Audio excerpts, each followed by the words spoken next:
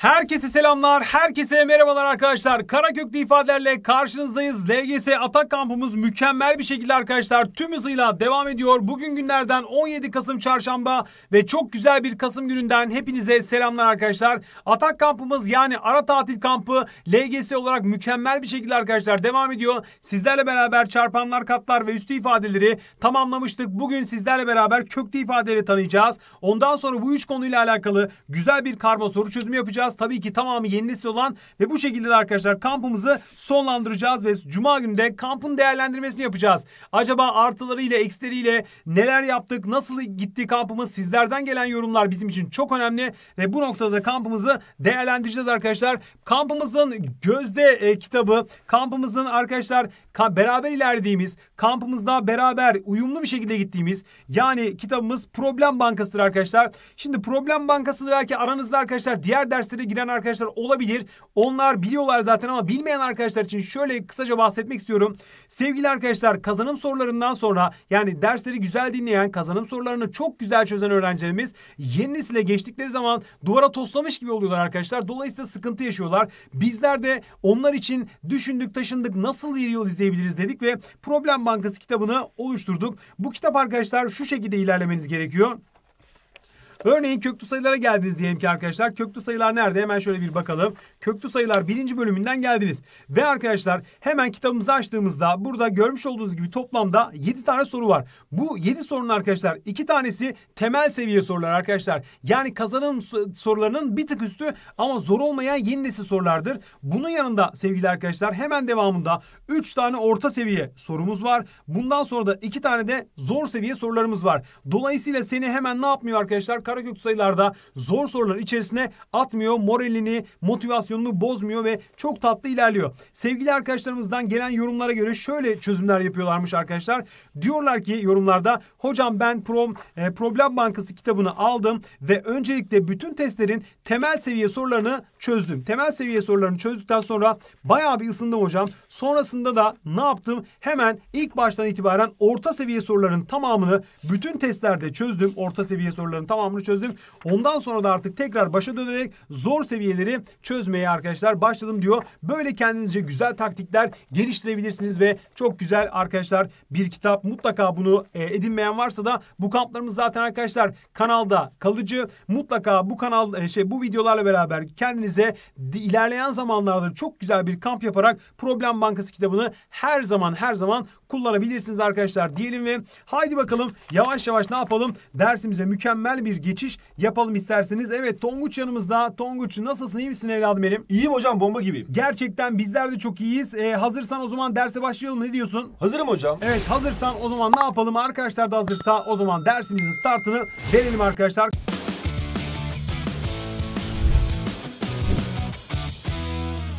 Karaköklü ifadelere merhaba diyoruz. Evet sevgili arkadaşlar karaköklü ifadelerde çok güzel bilgiler öğrenmiştik zaten kanalımızda ve onları ne yapacağız? Seninle beraber şöyle güzel bir tekrar edeceğiz. Arkadaşlar bir kere tam kare sayıları çok iyi bilmemiz lazım. 1'in karesi 1, 2'nin karesi 4, 3'ün karesi 9, 4'ün karesi 16, 5'in karesi 25 ve 6'nın karesi 36. Tabii ki bunun devamında arkadaşlar tam kare sayıların devamını da çok iyi bilmeniz lazım. İşte 49, 64, 81, 169, işte 196 artık sayamadığımız 20'ye kadar olanları bir kere adınız soyadınız gibi bilmeniz gerekiyor arkadaşlar. Bilmezseniz çok ciddi sıkıntı yaşarsınız tamam mı? Bunu özellikle vurgulayalım. Sonra arkadaşlar yaklaşık olarak değer bulma bölümüne gelmiştik. Mesela bakın arkadaşlar buna ben kök 1 diyebilirim. Buna kök 4 diyebilirim. Buna kök 9 diyebilirim. Buna da kök 16 diyebilirim. Şimdi bu sayım 2'ye yakın olduğu için arkadaşlar ben buna mesela yaklaşık olarak kök 3 diyebilir miyim? Evet diyebilirim. Buraya bakalım arkadaşlar. Kök 9'a yani 3'e yakın. O zaman ben buna yaklaşık olarak kök 7 diyebilir miyim? Evet diyebilirim. Bakın bu tarafta kök 9'u geçmiş yani 3'ü geçmiş ama 3'e yakın. O zaman ben buraya arkadaşlar ne diyebilirim burada? Kök 11 veya kök 12 diyebilirim değil mi? İşte böyle yaklaşık değerler bulmuştuk. Peki kök 20 sayısı hangi iki sayı arasındadır diye sorduğumuzda hemen arkadaşlar kök 16'yı da kök 25 aralığında yani 4 ile 5 aralığında diyebiliriz. Devamında 150 sayısına baktığımızda kök 144 ile 169 aralığında e kök 144 12 olduğuna göre 169 da 13 olduğuna göre kök 150'nin 12 ile 13 arasında olduğunu senle beraber ne yapmış olduk? Şu anda canlı canlı mükemmel bir şekilde söylemiş olduk. Peki arkadaşlar tam kare sayılar kök dışına çıkabiliyorlar. Fakat e, tam kare olmayan sayılar ne olacak? Onlar kök dışına çıkamayacaklar mı? Hayır arkadaşlar onların içerisinde de çıkabilen sayıları çıkartıyorduk. Buna biz ne diyorduk? A kök B şeklinde yazma diyorduk. Peki mesela 28'e baktığımızda kök 28 A kök B şeklinde yazalım. Ne yapıyoruz? Önce 2'ye bölüyoruz. Hemen burası 14. 2'ye böldük arkadaşlar 7. 7'ye böldük 1. Gruplandırdığımız zaman 2 dışarıya çıktı fakat 7 çıkamadı. Dolayısıyla cevabımız 2 kök 7 olmuş oluyor. Peki bazı zamanlarda arkadaşlar kök dışındaki sayıyı kök içine alıyorduk. Nasıl alıyorduk arkadaşlar? Karesi olarak giriyor değil mi içeriye? Karesi olarak giriyordu ve çarpıyorduk. 3'ün karesi 9. 5 ile çarparsak 9 kere 5 45 olmuş oluyor. Peki çarpma işleminde ne yapıyorduk? Çarpma işlemini de dışarıdaki sayıyla dışarıdaki sayıyı çarpıyoruz. 4 kere 3 12 yazıyoruz. Ve arkadaşlar 3 kere şey 2 ile de 5 çarpıyorum. Yani kök içindeki sayıyla da kök içindeki sayıyı çarparak sonucu yazıyorum. 2 ile 5 çarpıyorum. Ne oldu? 10 oldu arkadaşlar diyoruz. Bölme işleminde dışarıdaki sayıyı dışarıdaki sayıya bölüyorum. İçerideki sayıyı içerideki sayıya bölüyorum. 8'i 2'ye bölersem kaç çıkar? 4 çıkar. 6'yı 3'e bölersem kaç çıkar? 2 çıkar. Ama köklü sayılarda böldüğüm için arkadaşlar 4 kök 2 olarak ne yaptık? Bulmuş olduk. Evet çok güzel bir şekilde özetlerimize devam ediyoruz arkadaşlar. Evet geldik nereye? köklü ifadelerde toplama ve çıkarma işlemleri var tabii ki. Şimdi arkadaşlar köklü ifadelerde toplama işlemine baktığımızda ortak kökümüz hiçbir yere gitmiyor. Ortak kökümüz duruyor. Sadece başındaki sayıları topluyorsun veya çıkarıyorsun. Yani 2 ile 7'yi toplarsan kaç yapar? Buradan 9 yapar tabii ki 9 kök 3. Buraya baktığımızda arkadaşlar yine ortak kökümüz duruyor. Ve buradan da arkadaşlar 12'den 4'ü çıkartırsak ne olur? 8 kalır. Ama biz bunun akılda kalması için ne demiştik? Elmalarla elmalar, armutlarla armutlar aynı torbada toplanması gerekiyor. Bir yerde elma, bir yerde armut aynı torbaya ne olur arkadaşlar? Girmez. Yani örneğin kök 5 ile Arkadaşlar kök 3 ne olur? Toplanmaz arkadaşlar. Bunlar çünkü aynı cins değiller. Dolayısıyla toplayamayız. Buna da dikkat etmekte fayda var. Sonra arkadaşlar ne yaptık? Kök içerisinde ondalıklı ifadenin kareköklerini bulduk. Ne yaptık? Şöyle yapabiliriz uzun yoldan yaptığımızda. Bakın 4 bölü 100 yaptık ve buradan 4'ü ayrı olarak 2 çıkardık. 100'ü ayrı olarak 10 çıkardık ve buradan da 0 tam 10'da 2 olarak yazabiliriz. Ancak daha pratik yolu var. Eğer virgülü görmesek burası ne olurdu? 196 olurdu arkadaşlar. Ama 196 olarak düşünsek ne olurdu burası? 14 olurdu. Ama virgül olduğu için ne yaptık? Biz de bir tane virgül koyduk ve 1,4 olarak da bulmuş olduk. Devam edelim bakalım. Bir doğal sayının arkadaşlar Ha şuna da bakalım hemen. Bakın burada arkadaşlar 9 bölü ne yapıyorum? 4 tane basamak olduğu için virgülden sonra ne yaptık? 1, 2, 3, 4 tane basamağımızı yaptık. Kökünü aldık buradan arkadaşımızın. 9 dışarıya ne olarak çıktı? 3 olarak. Peki 10 bin dışarıya ne olarak çıktı? 4 tane sıfırın yarısını içeride bırakır yarısını dışarıya alabiliriz arkadaşlar. Dolayısıyla 3 bölü 100 olur. O da sıfır tam %3 olarak buluyoruz. Ve bu şekilde sonucumuzu bulduk. Doğal sayı çarpan yapan çarpanlar vardı arkadaşlar. Bunların aynısından olması gerekiyor. Yani mesela ben arkadaşlar bunu 3 kök 2 yazarsam çok güzel bir şekilde dışarıya burasının 12 çıktı şeye 6 çıktığını söyleyebilirim. Ne yaptık? 6'yı bulmuş olduk. Buraya bakalım. Mesela burada da arkadaşlar 4 kök 3 olarak çıkmış olabilir. Buranın da cevabının 12 olduğunu söyleyebiliriz. Bakın e, kökten kurtuldu bir doğal sayı oldu. Kök 20 idi arkadaşlar. Bakın kök 5 ile çarptığımızda kök 100 yapar. O da dışarıya 10 olarak çıkar. Ha şunu isterseniz 2 kök 5 olarak yazarsınız. Buradan da aynısı olduğu için arkadaşlar kökten çıkmış olur. Yani bir köklü ifadenin arkadaşlar kökten dışarı çıkabilmesi için aynı kökten olması lazım. Yani kök 2 ise aynısından olacak. Kök 3 ise aynısından. Kök 5 ise aynısından. Mutlaka aynısından olursa kökten kurtulmuş oluyor. Bu şekilde de arkadaşlar ne yaptık? Köklü ifadeleri senle beraber özetlemiş olduk. Şimdi artık senle beraber ne yapalım? Soru çözelim. Evet Tonguç'um hazır mısın soru çözmeye? Hazırım hocam. Süper sen de hazırsan o zaman hadi bakalım şöyle güzel bir yeni nesil soruyla yolculuğumuza başlayalım. Şimdi görselde bir köşesi cetvelin A noktasının 4 noktasına yerleştirilmiş olan karenin diğer köşesi A noktası üzerindedir. Buna göre A, A hangi ardışık tam sayılar arasına karşılık gelir? Arkadaşlar bakın soruları analiz ediyoruz. Tek tek gidiyoruz. Hatta soruyu çözdüren taktiğe de bakalım mı? Haydi bakalım. Cetvelin diyor ki hangi noktadan başladığına dikkat et. Arkadaşlar bakın şeklimizin nereden başladığını dikkat ediyoruz. Bakın dörtten başlamış. Dikkat. Şimdi köşe bir neresi köşe bir? Dört noktası. Köşe iki neresi arkadaşlar? A noktası. Onu yazdık. Sonra geliyorum buraya.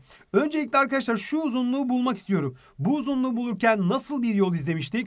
Alanın karekökünü arkadaşlar alıyorduk. Alanın karekökü. Yani bir alan var ve bu alanın karekökünü aldığımızda karşımıza ne çıkıyor? Bakın 3 kök 10 çıkıyor değil mi? İstersek 3 kök 10 olarak da yapabiliriz. İstersek kök 90 olarak da e, tutabiliriz. Şimdi bir karenin kenar uzunluğunu buluyoruz. Bir karenin kenar uzunluğu arkadaşlar e, alanımızın karekök kadardır. Yani kök 90 santimetredir. Peki sevgili arkadaşlar ikinci adımda e, ne yapacağız? Bu ifadenin yaklaşık olarak değerini bulacağız. Yani kök 90 sayısının arkadaşlar yaklaşık değerini buluyoruz değil mi? Yaklaşık olarak hemen yazalım bakın. Yaklaşık değerini bulacağız. Yani kök 90 sayısı arkadaşlar kök 90 sayısı yaklaşık olarak hangi iki sayı arasındadır ve e, nasıl bir yol izleyeceğiz? Bir altında kök 81 var. Yani 8'den büyüktür arkadaşlar. Bir üstünde e, arkadaşlar 8 diyorum pardon burası 9 olacak. Hemen 9 yapıyoruz. 9'dan büyüktür arkadaşlar ne olur 10'dan da küçüktür. Kök 100'den küçüktür. Yani 9 ile 10 arasında olması gerekiyor. Peki arkadaşlar benim uzunluğum 9 ile 10 arasında olmasını gerekiyorsa o zaman ne yapıyorum? 4'ün üstüne bakın 4'ün üstüne eğer 9 eklersem 9 eklersem 13 olur. 4'ün üstüne arkadaşlar 10 eklersem 14 olur. Demek ki sevgili arkadaşlar A sayısı bakın A sayısı A sayısı o zaman 13 ile 14 aralığında bir yerlerde olması gerekiyor diyebiliriz ve bu şekilde de yapıyoruz. Ancak arkadaşlar mesela ben olsam şöyle bir yöntem de izlerim. Kök 90'ı aldık. Kök 90 aldık.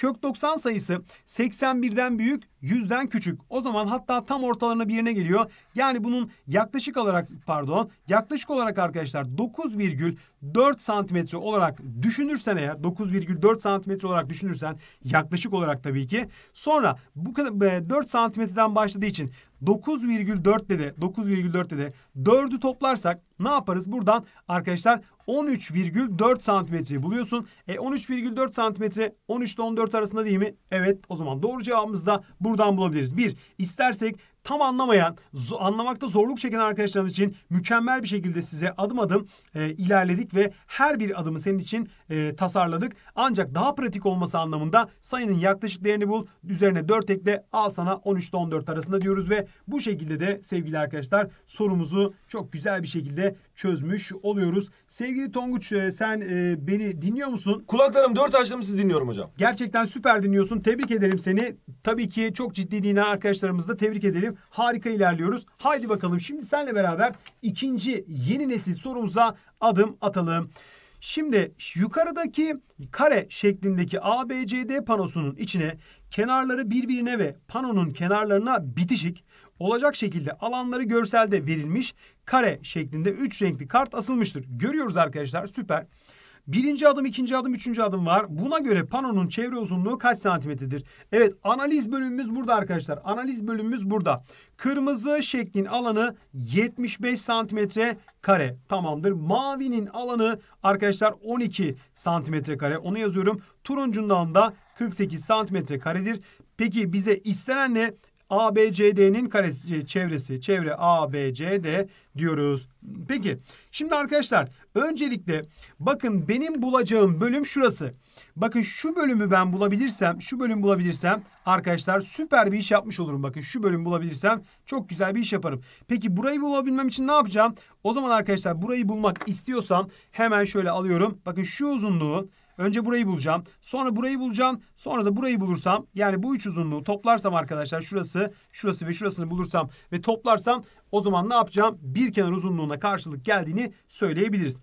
Peki kırmızının bir kenar uzunluğu. Arkadaşlar kırmızının bir kenar uzunluğu kök 75'i ne yapıyorum? Alanın kare kökünü alıyorsan bir kenar uzunluğunu bulursun. Yani kök 75'i arkadaşlar 25 çarpı 3'ten buradan ne olacaktır? 5 kök 3 santimetre olduğunu söyledik.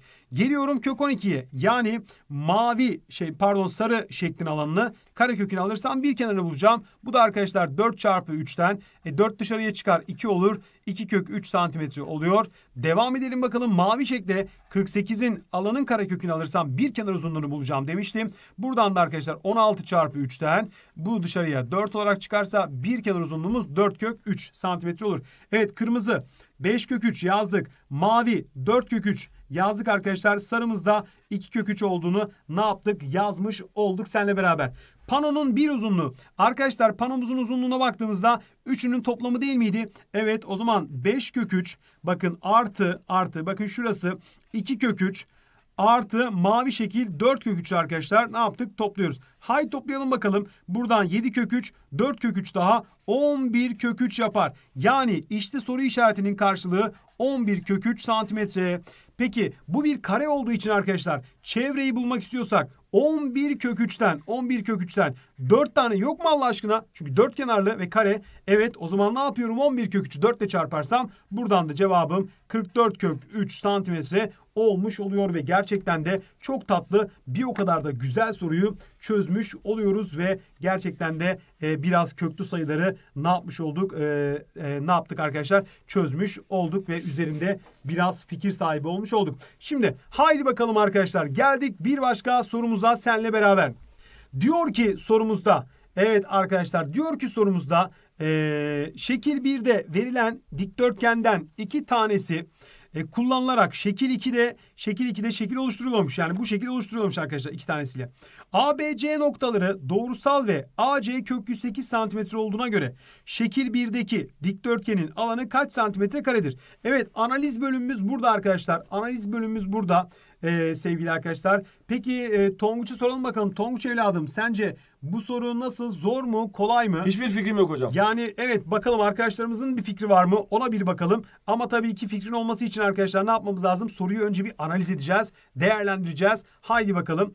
Şimdi sevgili arkadaşlar analiz bölümümüze baktığımızda bir kere bu şekillerin eş olduğunu söyleyebiliriz değil mi? O zaman buraya eş şekiller yazıyorum bir kere. Onun not aldım.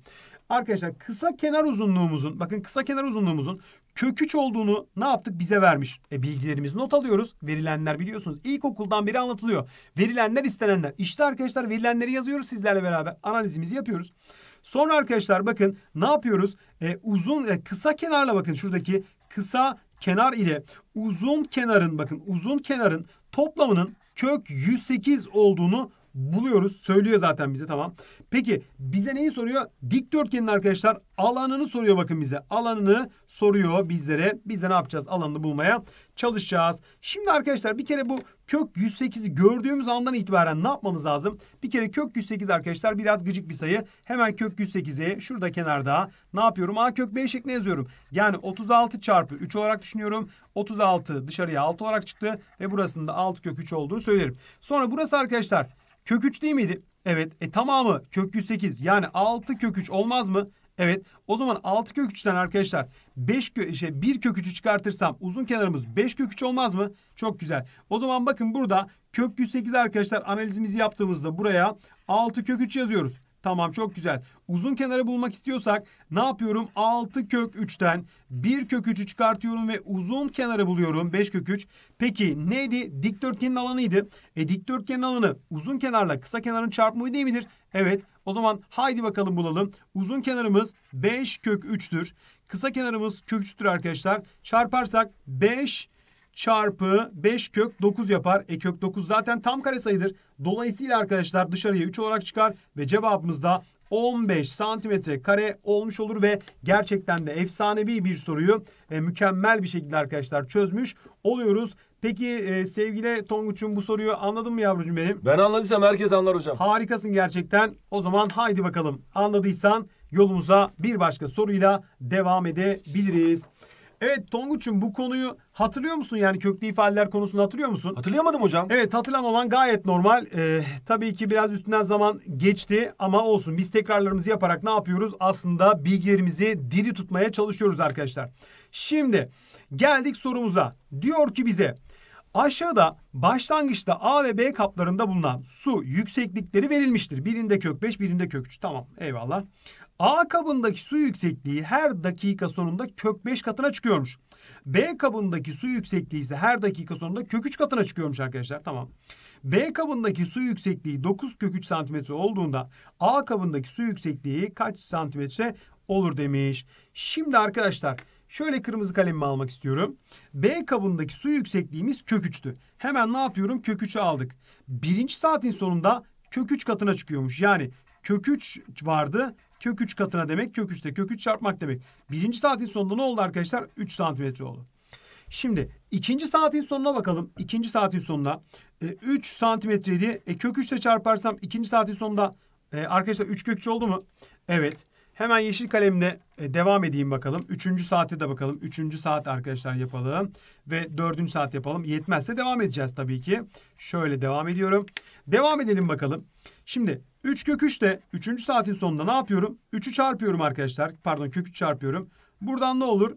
9 çıkmaz mı? Evet. Peki 4. saatin sonunda ne olur? 9'da da kök 3 çarparsam 9 kök 3 santimetre olur. 5. saatin sonunda arkadaşlar ne olur? E, kök 3 ile çarparsam buradan 27 santimetre olur 5. saatin sonunda. Bakalım geldim A'ya arkadaşlar. Buraya bakalım. E, A'mız ne olacaktır sevgili arkadaşlar? E, bakalım burada.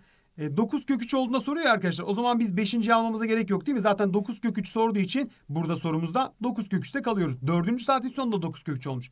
Peki A kabı 4. saatin sonunda ne olur? Önce kök 5'te başlıyoruz arkadaşlar. Sonra 1. saatin sonunda kök 5 katına çıktığı için kök 5'e kök 5 çarpıyorum ve 5 santimetre olduğunu buluyorum. Devam ediyorum. Sonra arkadaşlar 2. saatin sonunda 5'i de be, e, ne yapıyorum? Kök 5'e çarpıyorum. İkinci saatin sonunda 5 kök 5 santimetre oluyor. Üçüncü saatin sonunda arkadaşlar 5 kök 5'i de neyle çarpıyorum? Kök 5 ile çarpıyorum ve buradan da arkadaşlar ne oldu? 25 santimetreye ulaştı. Dördüncü saatte ise yine kök 5'e çarparsam 25 kök 5 santimetreye ulaşmış oluyor. Peki arkadaşlar doğru cevabımızı bulduk mu? Evet bulduk. Yani B kabındaki su yüksekliği 9 kök 3 olana kadar 4 saat geçmiş. Peki 4 saatin sonunda A kabındaki yüksekliğimiz ne olur? 25 kök 5 olur ve bu şekilde de arkadaşlar sorumuzun doğru cevabını senle beraber bulmuş oluyoruz. Geldik bir başka yeni nesil soruya. Ondan sonra arkadaşlar bakalım güzel bir e, problem bankasından sorumuz var. Ondan sonra da köklü sayıların soru çözümlerini ve e, ne yapacağız konusunu bitirmiş olacağız. Sana ödevlerini vereceğiz arkadaşlar. Şimdi alanı 950 metre santimetre kare olan kare şeklindeki masanın yüzeyine masanın kenarlarından taşmayacak şekilde santimetre cinsinden kenar uzunlukları sırasıyla 2'nin ve 3'ün tam sayı kuvvetleri olan dikdörtgen şeklinde bir örtü serilecektir. Buna göre örtünün çevre uzunluğu en fazla kaç santimetre olur? Yani arkadaşlar bir masamız var ve o masamızın üstüne bir örtü örteceğiz. O örtü masanın üzerinden taşmayacak arkadaşlar. Dolayısıyla mesela diyelim ki bizim bu masamız olsun. Bu da arkadaşlar örtümüz olsun. Bakın böyle olacak. Yani dışarılara taşmayacak. Dolayısıyla arkadaşlar e, masamızın alanından küçük olması gerekiyor. Masamızın alanından küçük olması gerekiyor arkadaşlar. Haydi bakalım sorumuza bakalım. Şimdi analiz bölümümüze bakalım mı? Haydi bakalım analiz bölümümüze, bölümümüze bakalım. Masanın alanı. Arkadaşlar masanın alanı 950 santimetre ne olur kare oluyor değil mi? Evet tamam 950 yazdık. Örtünün kenar uzunlukları ne olur arkadaşlar? Örtünün kenar uzunlukları 2'nin e, tam sayı kuvvetleri olunca 2 üzeri 1'den 2, 2 üzeri 2'den arkadaşlar ne olur? 4 olur. 2 üzeri 3'ten 8 olur. 2 üzeri 4'ten 16 olur. 2 üzeri 5'ten 32 olur. Bu şekilde gidiyor. E, 3'te demiş 3'ün birinci kuvveti 3, 3'ün ikinci kuvveti arkadaşlar 9, 3'ün üçüncü kuvveti 27, 3'ün dördüncü kuvveti 81'de ne oluyor? Gidiyor. Biz bunların içinden istediğimizi alacağız arkadaşlar. Bize uyanı alacağız. Tamam mı? Şimdi gelelim birinci adıma. Masanın yüzeyinin kenarı. Şimdi arkadaşlar masamız bir kare olduğu için biz bu kare şeklindeki biliyorsunuz arkadaşlar karenin içinde alanı verildiyse alanı verildiyse alanı verildiyse biz bunun bir kenar uzunluğunu bulmak istiyorsak yapmamız gereken tek işlem alanın karekökünü almaktır. Hemen karekökünü alıyorsun. Hemen karekökünü alıyorsun. Kök 950 santimetre kare arkadaşlar. Şimdi bunun ne yapacağız? Kök 950'nin yaklaşık olarak arkadaşlar değerini bulmak zorundayız. Yani şimdi 30 çarpı 30 olarak düşünsek arkadaşlar 30 çarpı 30 olarak düşünsek 900 yapar. Şimdi 31 çarpı 31 olarak düşünsek arkadaşlar ne olur? 961 gibi bir şey olur. 961 gibi bir şey oluyor arkadaşlar. O zaman 950 sayısı demek ki arkadaşlar 30 ile 31 aralığında hatta 31'e biraz daha yakın. Peki ben yaklaşık olarak arkadaşlar ben bu sorunun cevabında e, sevgili arkadaşlar ne yapmam gerekiyor? O zaman ben bu masamın bir kenar uzunluğunu sevgili arkadaşlar 30,7 santimetre alabilir miyim? Alabilirim arkadaşlar. Bakın şu yaklaşık değer demek. E, kök 950'nin yaklaşık olarak değer arkadaşlar tam sonucunu bulamıyoruz biliyorsunuz. 30,7 santimetre oldu. Demek ki benim masamın bir kenar uzunluğu 30,30,7 santimetre yaklaşık olarak.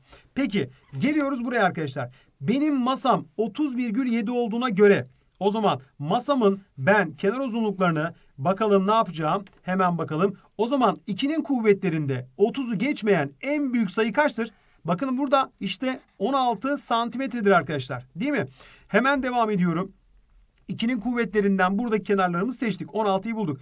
Peki 3'ün kuvvetlerine baktığımızda 30,7'yi geçmeyen en büyük 3'ün kuvveti kaçtır? 3'ün 3. kuvveti yani 27 santimetredir arkadaşlar. Hemen ne yaptım? 27'yi yazdım. O zaman çevreyi ne yapıyoruz arkadaşlar? Bulabiliyoruz. Ee, burada da maksimum e, şeylerimiz arkadaşlar uzunluklarımız 2 üzeri 4 ve 27 3 üzeri 3 olarak ne yaptık? Ee, tescilledik ve aldık. Dolayısıyla çevremize bakalım. 2 çarpı 16 artı 27 yapıyorum. Buradan da 2 çarpı topladığımız zaman burası 43 olur değil mi? 43 oluyor. 43'te de 2'yi çarparsam cevabımın 86 santimetre olduğunu söyleyebilirim. Yani arkadaşlar masanın üzerine örttüğümüz örtünün çevresi 86'ymış. Gerçekten özel ve güzel bir soruyu ne yapmış olduk? Çözmüş olduk arkadaşlar diyoruz ve haydi bakalım bir tane de problem bankasından bir soru çözelim. Bakalım ne diyor bize? Sayfa 49'da 7. soru diyor. Problem Bankası sayfa 49 7. soru. Hemen bakalım sayfa 49'a. Hemen nerede bakalım 49'a yoksa sallıyor musunuz hocam? Yani öyle bir soru yok olmayabilir. Koymuşsunuz oraya Problem Bankası'ndan diye diyebilirsiniz arkadaşlar. İşte burada zor bir soru şeklinde gözükse de aslında o kadar da zor değil. Zor bölüme konmuş ama işte arkadaşlar şimdi bu sorunun çözümünü senle beraber yapacağız ve göreceksin. Çok da güzel. Zor bölümden ama şimdi çözünce aa hocam ya bu da zor mu Allah aşkına diyebilirsiniz. Şimdi aşağıdaki şekilde eşit bölmeli iki raf görülmektedir. Rafın üst kısmındaki genişliği kök 300 e, santimetre olan şişeler vardır. Rafın bu kısmındaki boşlukların genişliği birbirine eşit ve 2 kök 3'tür. Rafın alt kısmındaki boşlukların genişliği de birbirine eşit ve kök 75 santimetre olduğuna göre bidonlardan birinin genişliği kaç santimetredir demiş. Evet arkadaşlar bir kere burada kök 300'ü gördünüz ya. Kök 300'ü hemen ne yapıyorsun biliyor musun? Şurada e, arkadaşlar hatta şurada yapalım. Niye orada yapıyoruz ki yani geniş geniş. Kök 300 arkadaşlar isteyen asal çarpanlarını ayırarak yapabilir. İsteyen de şöyle yapabilir. 100 çarpı 3 şeklinde yazıyorsunuz ve buradan 100 dışarıya 10 olarak çıkar ve 10 kök 3 santimetre oluyor arkadaşlar. Şimdi şişelerimiz kaç tane arkadaşlar? Şimdi bu rafın uzunluğunu bul bulacağız. Bakın şu rafın uzunluğunu bulacağız önce tamam mı? Bu rafın uzunluğunu bulacağız. Peki nasıl bulacağız? Haydi bulalım bakalım. Şimdi kaç tane şişe var? 1, 2, 3, 4, 5, 6. 6 şişe var. 6 şişenin her biri 10 kök 3 ne yaptık? 6 ile 10 kök 3 çarptık. Artı. Arkadaşlar kaç tane boşluk var? 1, 2, 3, 4, 5, 6, 7 tane boşluk var. E 7 boşluk her biri 2 kök 3 ise ne yaptık arkadaşlar? Bunu buluyoruz. Buradan 60 kök 3 artı e, arkadaşlar 14 14 kök 3 değil mi? Ee, buradan toplarsak buradan ne olur? 74 kök 3'e ulaştık. Demek ki arkadaşlar bizim rafımızın uzunluğu 74 kök 3'müş. Şimdi arkadaşlar rafımızın uzunluğu 74 kök 3'ü bulduk. Şuraya ne yapalım? Yazalım. 74 kök 3 santimetre uzunluğunda bir raf. Peki geliyorum buraya. Kök 75 arkadaşlar. Kök 75 de hemen dışarı çıkarmak istiyorum. Çünkü onunla işlem yapamam. Buradan ne yapıyorum? 25 çarpı 3 yapıyorum. Ve 25 dışarıya 5 olarak çıkarsa 5 kök 3 santimetre oldu. Peki kaç tane boşluk var? Bunun uzunluğu arkadaşlar şişelerin uzunluğuna x diyebilir miyim? Derim tabii ki. Niye diyemiyormuşum?